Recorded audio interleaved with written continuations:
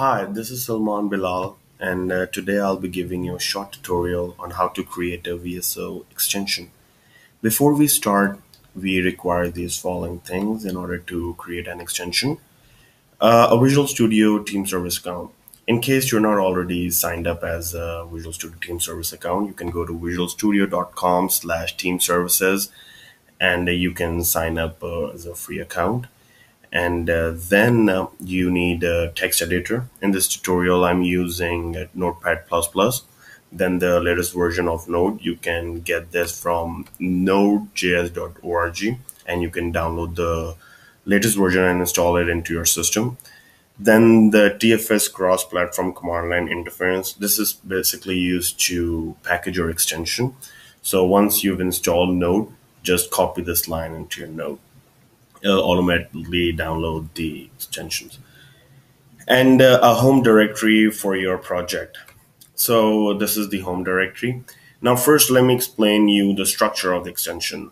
In this image folder we're going to put the logo of the extension.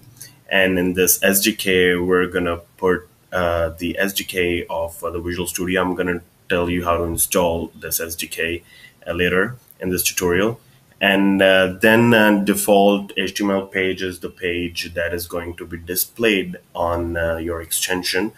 And uh, then this is the debug log. And then this is the overview of the extension. It explains about the description and uh, the purpose of the extension. And you can write everything in it. And then readme is the instructions before downloading the extension.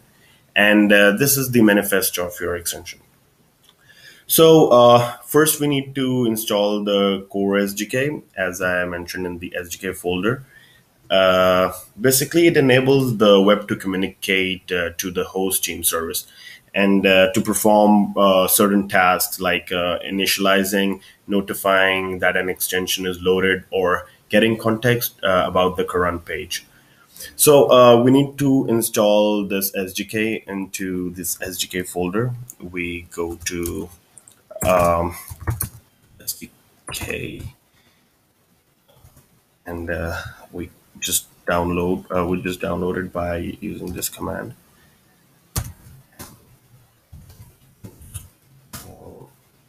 We VSA.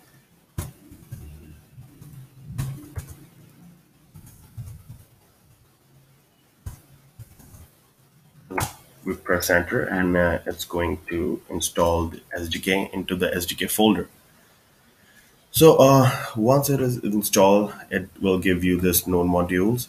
We just have to get into the library and uh, copy this and put it back into the script folder. All right. So moving, uh, we're done with the SDK. Now let's uh, start with the manifest of uh, this extension. So this is the manifest of your extension. Uh, this is the manifest version, and uh, this is going to be the ID of the extension. And uh, this is the version uh, that your extension is going to have. You can, if in case of update of uh, the extension, you just have to update the version and upload the package file to the publish account. And uh, then this is the name of your extension and this is the description that is going to be showed once you download the extension. And publisher you're going to put the your publisher uh, account name that you've signed in for if you're going to upload this extension. And uh, these are the targets that uh, lets you uh, get traffic for this extension. And the icon you give the url uh, of the logo uh, png and uh, this is the detail where you put the overview. As i mentioned you just you put anything over here. Like uh, you just uh, edit it. And this is a sample overview. And uh, then there is uh, the contributions. You put an id to your extension and the description of course. And uh, this this url default html as uh, for your default HTML page. Let's uh, see how the default HTML page is. In this uh, extension, I'm just only used hello world page that would be displayed on your TFS once as a separate tab once you open that a hello world. So this is the structure of the default um, default page. And uh, once we're done with this, we need to package this uh, whole extension to upload it to the uh, publisher account. So to uh, to package this, we need to first uh, come to the to the home uh, uh, to the home directory by going to the slash so extension. All right, so we're into the home um, home directory. Now you have to copy this line and you have to paste it over here.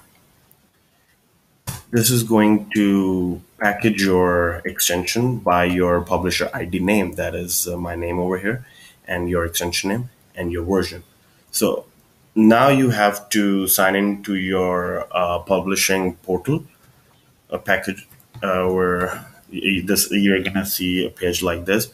There'd be an upload new extension option.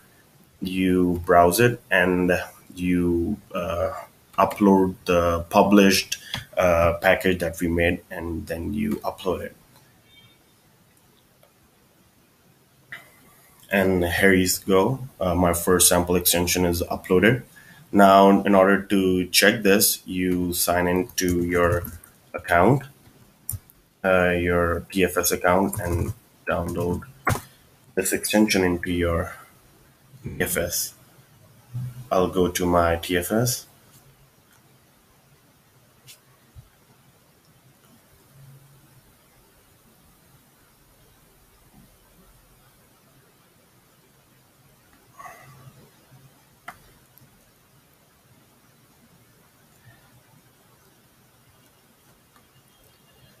All right. And uh, then there's this browse marketplace. As you see, your uh, your uh, your extension is public because in the manifest you you give this option public true. If you want to keep it private just for your own company's sake, nobody could download it, and only you invite people to download the, this extension, then you have to remove this line from the manifest. But uh, in this tutorial, I've made this public. Anybody could come to the marketplace and download this uh, extension.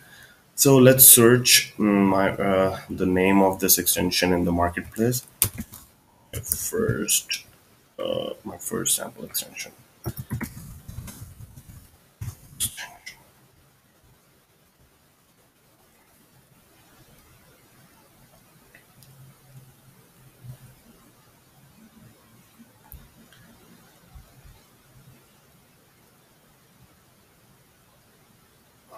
There you go. It's free, and uh, you just click on it,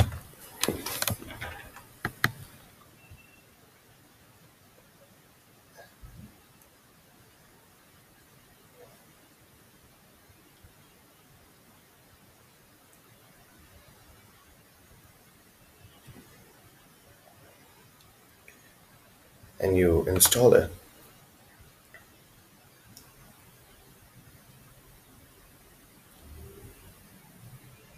You have to select the account for which account you need to uh, get this extension for. So I'm gonna go with the same one.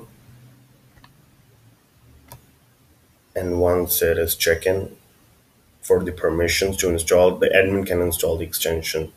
So once it's checked, you confirm it, and uh, then it'll be installed to your project. So now I'll go to proceed to account, and uh, once I go there, I'll be seeing. Let, let me choose any of the project,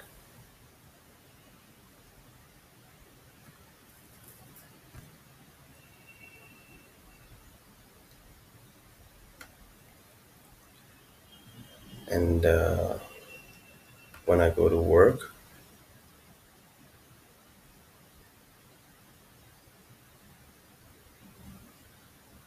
I'll be seeing a hello tab. This is uh, the tab that I gave on my manifest over here, hello, and it will redirect to the default HTML page. and uh, that's what I get. So that's all. Thanks for watching the tutorial.